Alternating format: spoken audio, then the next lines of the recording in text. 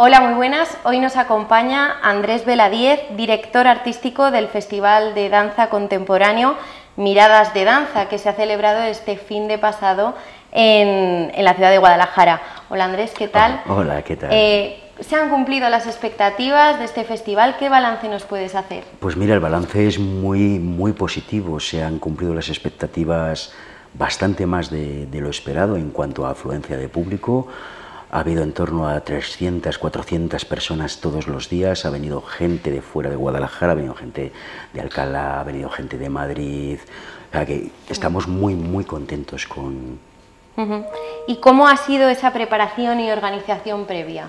Pues mira, esto llevamos, llevamos en ello casi dos años. Esto está organizado por el Ayuntamiento de Guadalajara, concretamente por la Concejalía de Cultura.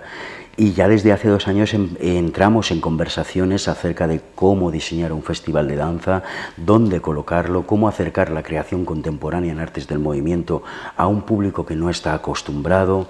Por eso se eligió el Paseo de San Roque, la ermita concretamente, porque es un lugar maravilloso para que la gente que no conoce la danza se la encuentre.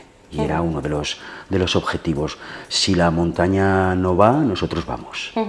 Además a este festival han venido artistas importantes y compañías de danza muy potentes a nivel mundial. ¿no? Sí, no voy a nombrarlos a todos porque se me puede olvidar alguno y no, y no me gusta, pero deciros que, bueno, que las compañías que han venido están girando internacionalmente por medio mundo y yo estoy encantado del programa artístico porque ha tenido una calidad bestial.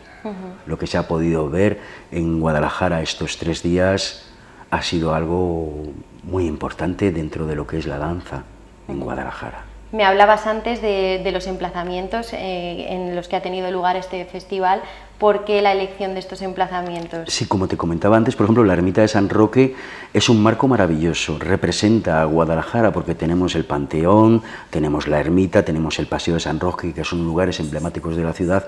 Luego es una, es una localización que permite un, gran número de público, pero de forma que queden totalmente acogidos, que no quede algo desolado. Eh, es el lugar de tránsito en Guadalajara, con lo cual mucha gente ajena a lo que es la creación contemporánea, pues que no iba a venir, se lo encuentra, empieza a mirar, le interesa, se queda y vuelve al día siguiente como ha pasado. Eso era importantísimo para, nosotros. El Festival de, Danza, Miradas de Danza, lo que quiere es acercar la creación contemporánea en artes del movimiento a, la ciudad que los que han estado estos tres días han podido ver un abanico de diferentes técnicas, de diferentes tendencias, en el que se puede ver lo que se está haciendo en danza contemporánea en el mundo actualmente.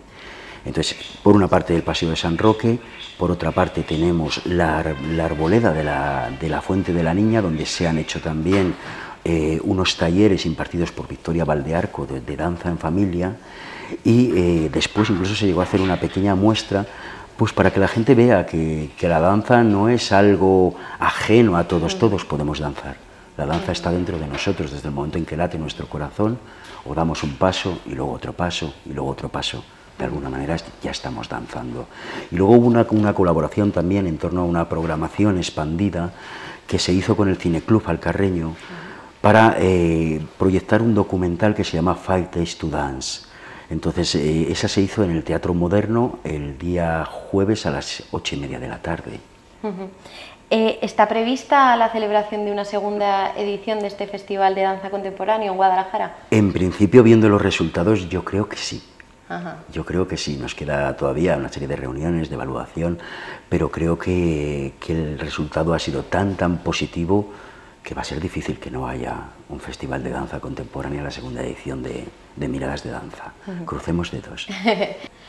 ¿Cómo se han escogido todos estos espectáculos para que todo el mundo o, gran parte del público pueda ir a verlos, que les guste, que disfruten?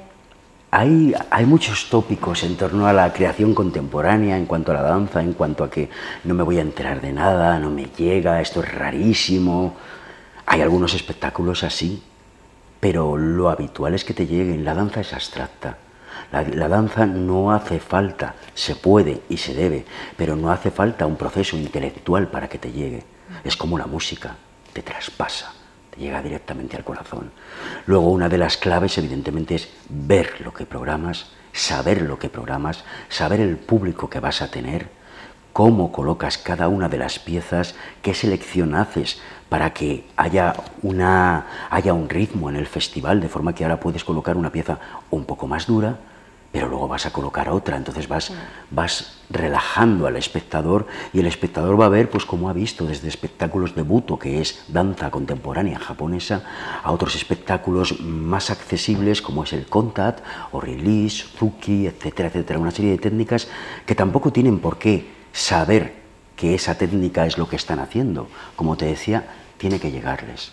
Y esa como, como festival es, es nuestra labor mostrar lo que se está haciendo, enamorar a la gente. Pues nada, felicidades por esa dirección y bueno, ha sido un placer tenerte aquí. Muchas gracias por contarnos todo. Muchísimas gracias a vosotros.